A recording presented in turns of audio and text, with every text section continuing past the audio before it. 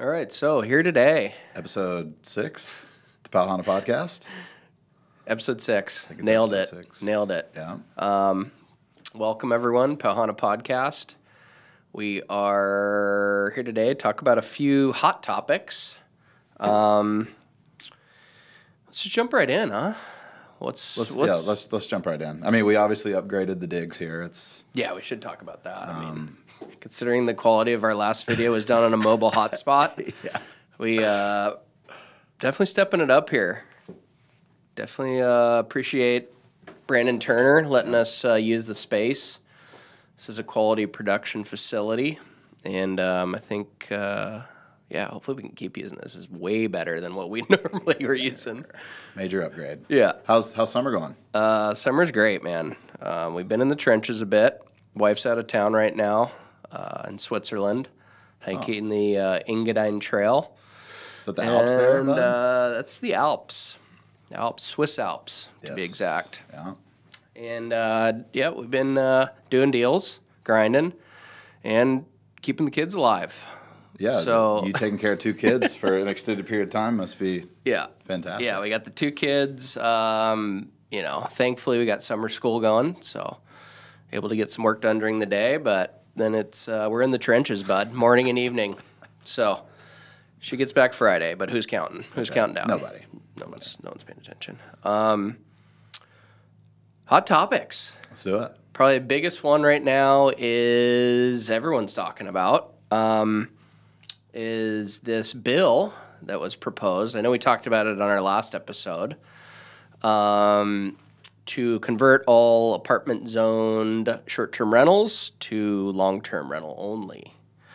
Um, so we, I think the last time we chatted about it, what it the meeting, we were waiting for the meeting. Yeah, it was before the meeting. Yeah. Okay. Okay. So that meeting happened late June. Yep. Um, and then there was supposed to be a follow up meeting last Tuesday, July 9th, which was canceled last minute due to them not having quorum. Couldn't make a quorum. They couldn't make quorum, uh, which seems fishy to me. I don't know. So the, the this to kind of circle back. This is planning commission meeting. This is the first step in the review process of any bill. Um, these are a group of volunteer um, volunteers that create, you know, make up this board, and they basically, you know, advise on how to proceed on the legislation Right. so they give with like a, they- guidance from the planning director, who the planning director is uh, is appointed appointed by the mayor. so they take testimony and then give a recommendation. Pretty Yeah, much, right? yeah, Okay. yeah. I think that's that's sort of the process, right? They they're required to accept public testimony, Yep. um, and then they make a decision. Um, but let's wind it back to what two weeks prior. Um, that meeting, a lot of people were in attendance. We had a lot of our clients, friends on there. Um, you know, it was a big turnout. And what do we see, Sloan? What do we, what do we see at that meeting? I mean, overall, the kind of what the county brought forward through uh, Mr. Higa um, was Sterling Higa, yeah. yeah. let, we'll uh, It we'll circle back to him. We'll circle back to him. How do we feel about that? Well, the, the general consensus from the people seemed to question whether or not proper economic studies had been done to what exactly the impact was going to be on Kihei and West Maui. Yeah. If you remove um, such a large number of short-term rentals, what it's going to do to the economy long term, and there there didn't seem to be very much evidence of that presented by the county at all. Yeah, yeah, I agree. Um, it it seemed like the presentation they gave. So basically, they opened the meeting. The mayor spoke, uh, Bissen. He gave some some words, um, and you know, it was interesting. The tone of his speech, I thought, Yeah. um, definitely, y- you know, he sees this bill going through as written currently, uh, it seemed. And, um, you know, the economic evaluation by Sterling Higa seemed uh, a bit contradictory to some of the other studies that have been done. Um, most notably, Paul Brewbaker's that was done about uh two years ago, a year and a half ago, kind of analyzing if we were to do this, what the impact would be. Yeah. Um, Because there is, I mean, there was there was precedent in Oahu, right? There there Yeah. was something very similar that happened over Yeah. there.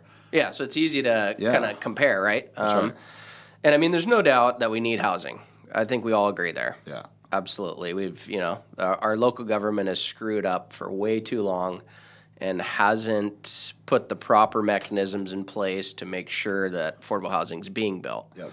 Um, this comes through working, you know, working with developers, tax incentives, requiring, you know, percentage of these projects to be affordable as they're built. But we're so behind the eight ball now. Now we're just scrambling to try and catch up, right? Yeah. Get anything built that we can, and it's just, You know, so I thought Sterling's analysis saying that, you know, there's going to be minimal negative impact from taking away 7,000 short term rental condos, basically 7,000 units that your typical Maui traveler could stay in. Right. Um, how would that not affect our economy? it. Short answer is it will. it's going to. Yeah, It, yeah. It, there, there's no other way that it, that it could not. Right. It's just you take away that amount of people spending their money. Yeah. In the local, like just look at Kihei specifically, and you know all those small businesses that are going to be affected. You, you just can't.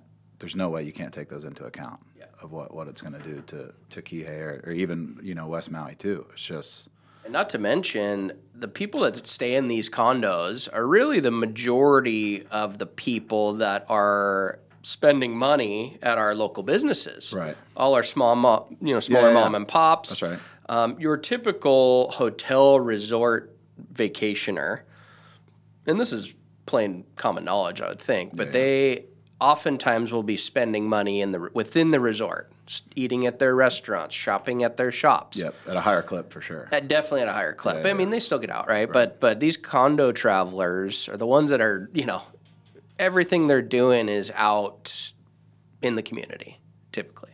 Um, so, yeah, interesting analysis, no doubt about it. Um, so the- we started the meeting with that. Well, so the mayor, this he could use this as if he were to get this bill passed, it would instantly become his legacy, right? Yeah. It would it would instantly, you know, catapult him into to some sort of, of status within the community here. Whether Yeah. you know long term that's going to be good or bad, negative or positive on on you know the island as a whole, it's yet to be seen. But Yeah. that will it is a legacy type of, of thing for him, and I think For that sure, that's for sure. you know has to be some sort of motivating factor for him. Yeah, absolutely. Definitely politically motivated. Um, and I, I think his intentions are in the right place. You Yeah. know, everyone wants more housing. We need it.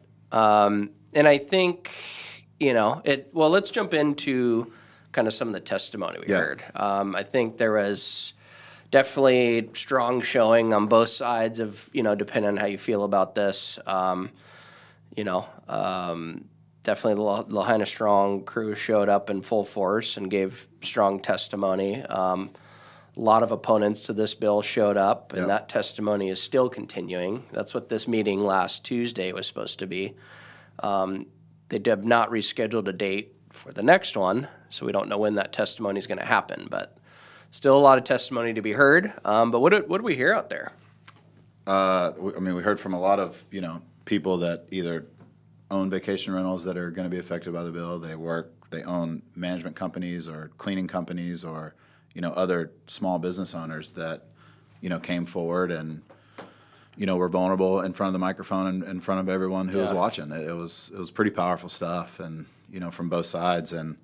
Um, yeah, I just really don't think that the county's taken into effect the, the impact it's going to have on Yeah. on the local economies. It's just they, they they provided no data or minimal data, Yeah. and it just didn't really seem to make a whole lot of sense to me.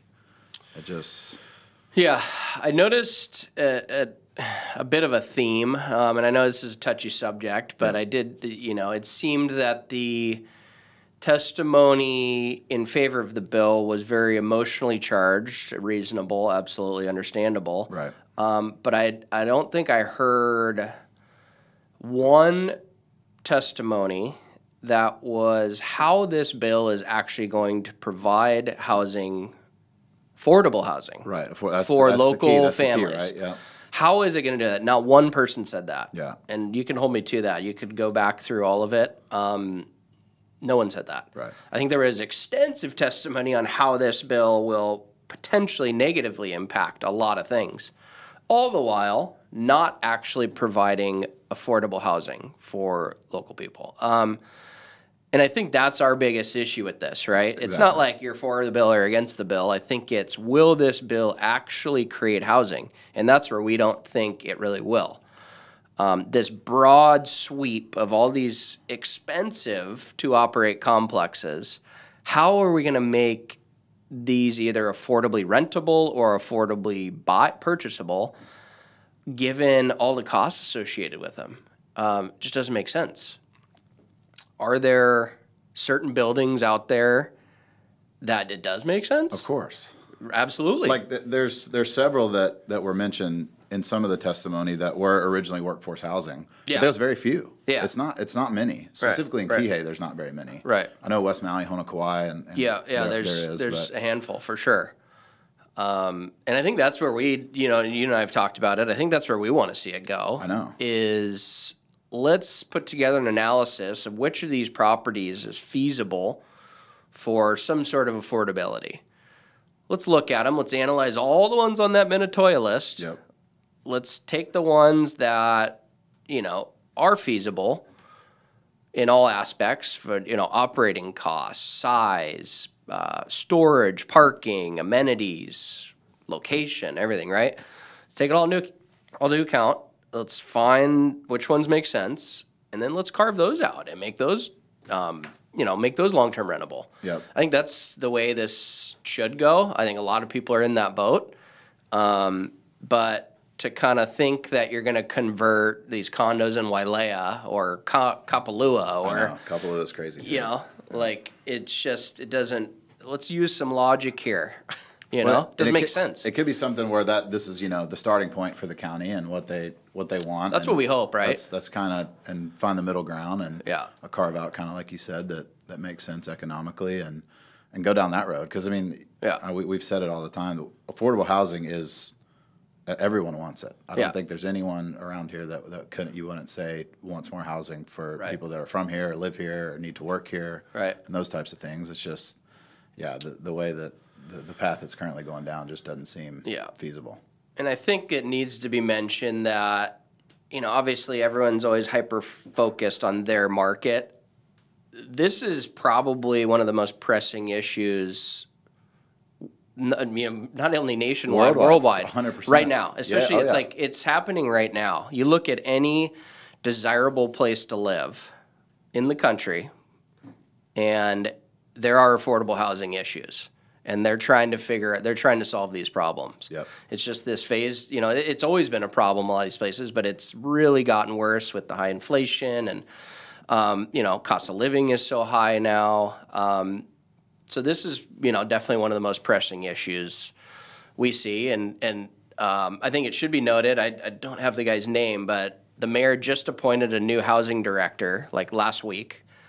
I'm pretty encouraged by the guy. Yeah. Um, I apologize for not having his name, but so the housing department in Maui County used to be, or it was like housing and human concerns, right? It was kind of a combined Yeah. department. So they split it off, and they have a housing director now. His whole role is just to figure out solutions for affordable housing. That's great. It's literally his whole job. yeah.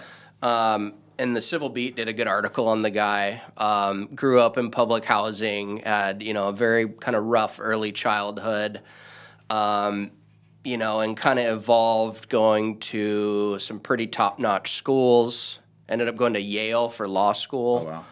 Um, has a background in architecture, um, urban development, uh, sociology. He's uh, he's he seems like a very qualified fit, um, and he's actually kind of supposed to be like post career at this point and like semi retired. Yeah. And he took this role just because he sees the need and he wants to you know try and make something happen. Wants to serve. So it, se- it seems like that we we finally have someone in there who can kind of push some of these things forward, which uh, I, I'm looking forward to that. Absolutely. Sounds know? like the guy for the job. Yeah. Wants to do it, has good experience doing Yeah. it, and well educated, and And the most frustrating thing in the article, they mentioned like you know he kind of analyzed some potential projects that could have happened in the past, or potential funding assistance from federal, state, whatever.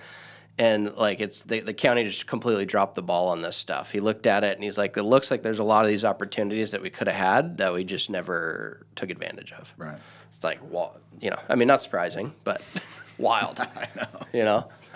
Um, so yeah, definitely probably the hottest of topics right now, going you know buzzing around Maui.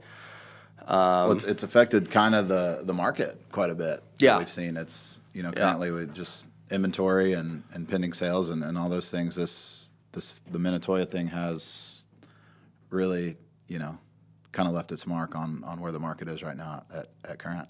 Yeah, yeah. I think um, we're seeing there's a lot of confusion. You know, we people who aren't here. You know, they're on the mainland, maybe shop it looking for, you know, whatever, whatever uh, investment properties or you know vacation rentals, et cetera. A lot of them think that Maui's planning on just banning all short-term rentals. yeah, yeah, just full sweep. Um, so we've been talking with our clients, letting them know what actually is proposed and what, what's going on. Um, obviously, in these apartment zone complexes, what what are we seeing there right now, activity wise? Just tons of inventory, not much, not much action. Yeah. Doesn't seem to be a lot of pending sales in that segment at all. And, you know, it's just people kind of waiting it out to see what happens with Yeah. the bill. And, um, there are some, I do have a couple clients that are, that are okay with taking the risk of, of buying in certain complexes, but they're really Yeah. specific on where and, and, Yeah. you know, the type of unit that it is. And, Yeah, yeah.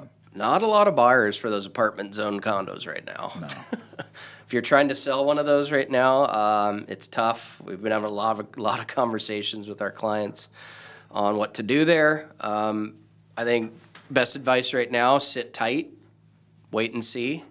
Definitely a wait and see kind of phase. Um, you know, it's not the time to try and fire sell or you know. I mean, there's just there's no buyers looking in those complexes right now. Uh, you know, there there are a couple, right? Yeah, yeah, yeah. It has to be at the right price and all that. Um, but yeah, it's interesting. We we could. What, what are we seeing elsewhere in the market? Uh, I mean, stuff's moving in other other segments. Yeah. I would say for sure. Um, specifically, that you know the lower end, but you know between under a million to about Yeah. one two, one three. That that market is really really active right now. Yeah. I guess that it just What's our uh, pop quiz, Sloan? Uh, What's our median home price as of June 2024? one point three two. 1.3 or did One point Close three. enough, yeah, yeah. Close. That's close. yeah, yeah. Well, Price is Right rules, I lose, Yeah. but Pat's picks rules, I win. Yeah, So, yeah, yeah. Close.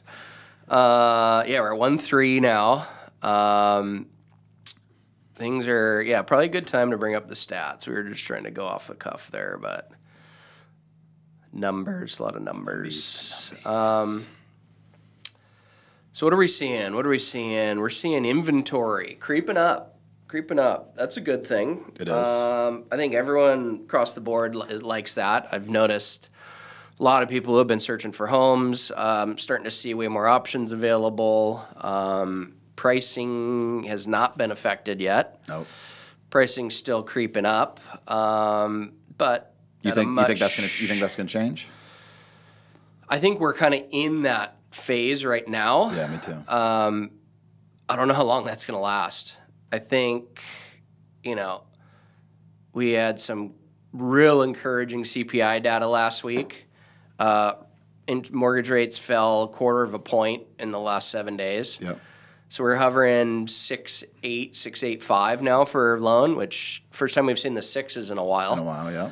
So I think as that creeps down, uh, potentially some political changes, I think the market's going to ramp back up. To be honest, Well, yeah, I mean, But- it's it's the interest rates are a double edged sword, right? The, Yeah. the the lower they go, it's just going to create more buyers and drive the prices back up. Yeah. And so people that are, are waiting on the sideline for interest rates to go down, I'm just not sure that's the best strategy. yeah, you're going to be with the masses Exactly. for sure. If, if there's something that you want to buy and you know that's where you want to be, it's you know, Yeah, it's it's not a terrible there's time. there's been you know there's definitely opportunities. Yeah. I mean, we clients are still buying, um, and you know they're finding that on the buy side, you definitely have a little more leverage right now. You do. You could come in low, you can negotiate, you can get the terms you want. Um, Get a, get a credit Yeah. for, for a rate buy Yeah, down. yeah, There- there's people are all- offering there's all- credits. All, sorts Um, of, of creative ways to do it. so there's definitely some you know advantages to be sh- being shopping right now, but I, I think we're in that window. I don't, you know, obviously we can look back at this in six months and see if we were right or wrong, but I think we're kind of in that soft window where prices are pretty flat, especially in condos. Oh, condos, it's you I mean, actually. let's look at have- that. Condo inventory right now is up 46% year over year, almost 50% year over year. A lot of condos out there. Uh, pendings are down 20% Yep. for condos, so less activity clearly. Pendings on homes are flat year over year, so we're seeing about the activity we saw last year, but more homes on the market. Yeah, there is more more new listings. So same same kind of pace of sales, but more listings for a buyer. It's not a bad position to be in. Yeah. Let's jump into a new segment, Sloan. Hot or not? Hot or not?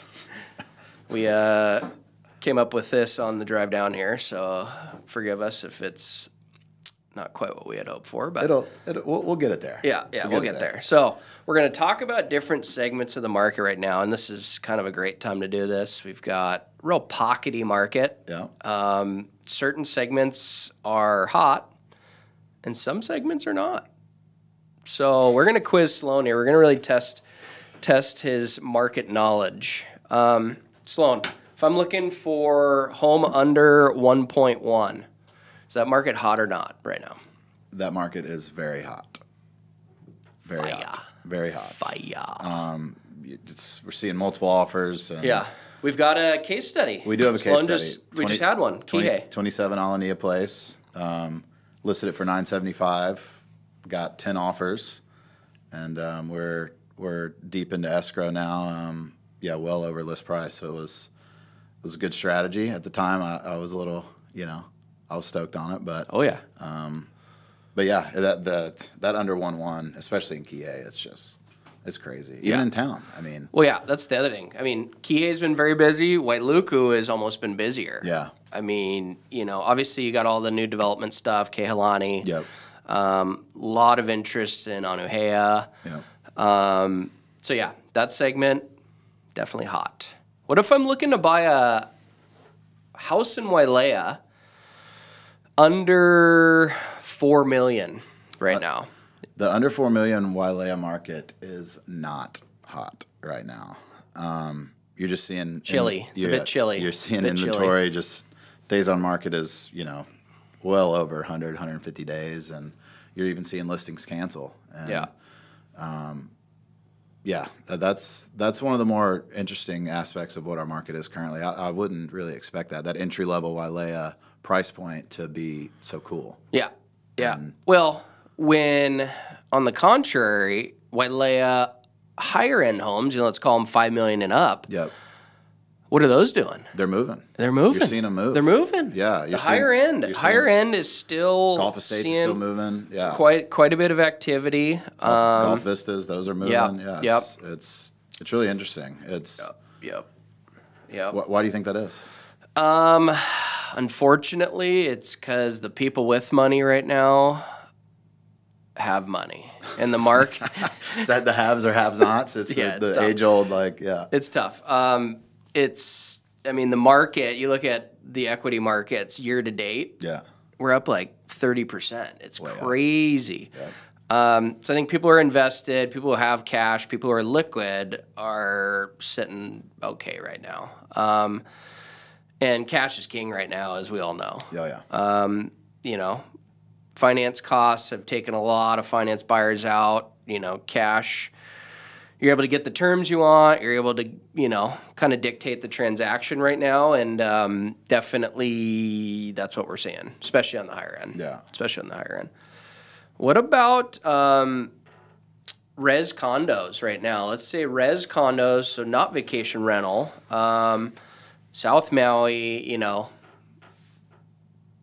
I mean, there's nothing in the ultra ultra high end, but like you Well, know, kinda. in the like yeah, I mean, well, let's say under five mil, right? So basically, all the kind of South Maui res condos. Yeah. Are we hot or not right now? Um, Not. I thought you were going hot there. I know you did, I know did. this is tough. This is a tough one right now. Well, this is a tough so, question. So, so new inventory, obviously, anything in La'iloa, and, and if we're talking Wailea, La La'iloa is going to go. Okay, but if we're that entry level Wailea Point, those are sitting. That's Yeah. just under five, right? yeah, yeah. And then uh, Kaimalas are moving pretty good. Um, what else we got? Kinda, kinda. We got we got two new Kaimalu listings. Yep. We're getting showings, but That's no good. offers yet. No offers You just put it on though, yeah. Yeah, yeah, yeah, yeah. Papali moved that that one moved pretty quick Yeah, earlier this year. Yeah, Papali. That's upper end though. That's that's definitely upper end of the range. Is that over five? No, it was under five, but Yeah. right there at it. Yeah, yeah, fours. Yeah. Um, Palms. palms. Wailea palms? What's going on in the palms? Not- nothing. not. Nothing. We just we just took one off, didn't nothing's going on in the palms. Um, what else we got? Keala. Keala's had a? Not- couple sitting. We're going not. I'm going not. I'm yeah, sticking. I'm sticking it with is my not, answer. But it, look, if you would have asked us this month, two months ago, hot. yeah. It's like it's it's just kind of shifted a little bit. Um, so interesting dynamic there. We'll see. Maybe just a little cool point. I, I Um, got one for you. I got one for you. okay, okay, what do we got? Uh, Fire up, away. Upcountry single family homes under two million. Definitely hot. Definitely. Definitely hot. That, that was layup. If you're, if I you had to were give you an easy going- one. I had to give you an easy one. I thought you were gonna go high end up country. Yeah. Different Oh, story oh, though. that's not. That's no, big not. it was hot, It was but it is not. not. It is inventory on the let's call it over three mil. Oh, you know, upcountry, haiku, Makawao, kula, especially kula. We uh, it was definitely it was a hot market, hot real estate market. And I think what happened is prices in Kula just shot up pretty quick, and, and It it's just kind of needed out- outpaced it? needed to stabilize a bit. Yeah, yeah, yeah. Um, but yeah, under two million if you're looking up country North Shore, hot market. I know. hot, Especially with a if it- any sort of Oh, yeah. accessory dwelling at all. Yeah, yep, yep. Um, you know, and I mean, I would say even like up to mid twos. I just had clients we represented um, two and a half in haiku. Oh yeah.